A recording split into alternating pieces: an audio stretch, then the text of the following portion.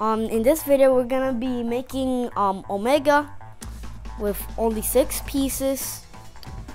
I mean, this, his pickaxe with only six pieces, and Omega with five pieces. So you get this piece from Lego Ninjago, and then you get the this piece from Lego Superman. You join them, and you get this piece from Lego Ninjago.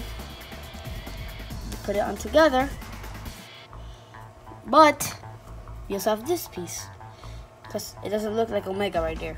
So you're gonna take the head off again and put this.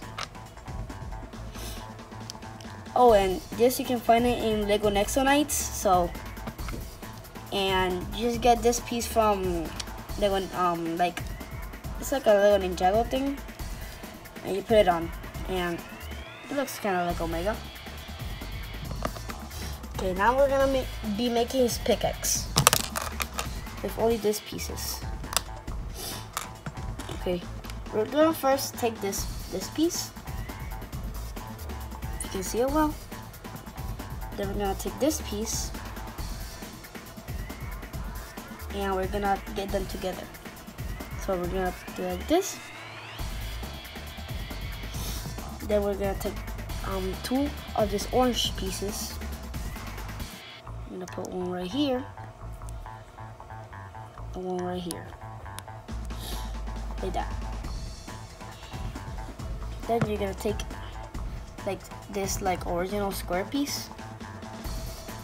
You're gonna put it right here in the back.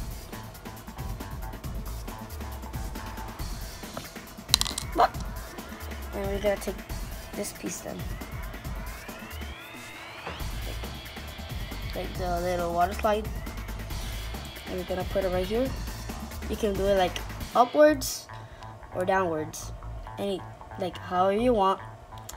And that's all. So just get your Omega.